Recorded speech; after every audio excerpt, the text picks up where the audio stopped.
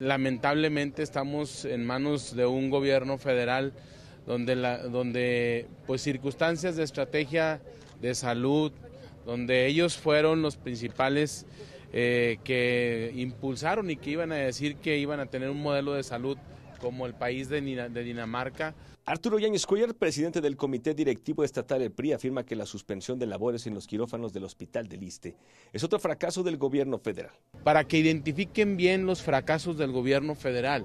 que lo estamos viviendo en nuestro estado y que lo estamos viendo en este, en este hospital que lamentablemente es una situación complicada, difícil y que pues es una oportunidad que se avecinen ya la renovación del gobierno federal y que tengan la oportunidad de que pues vean otra opción que es el Frente Amplio por México. Pide a la población identificar los fracasos del gobierno de la 4T. Que reprobamos este el desempeño del gobierno federal y que pues otra vez vuelve a castigar a Durango el gobierno federal y es una situación que es eh, reprobable totalmente. Eh, esperemos que, que la misma ciudadanía sea testigo de ello, que la misma ciudadanía este pues vea que es un mal gobierno el de gobierno de Morena y que pues es lamentable que quien va a sufrir el cierre de estos quirófanos son los derechohabientes. Con la edición de Donato Herrera en Canal 12 Noticias Informa, Salvador Mercado Hurtado.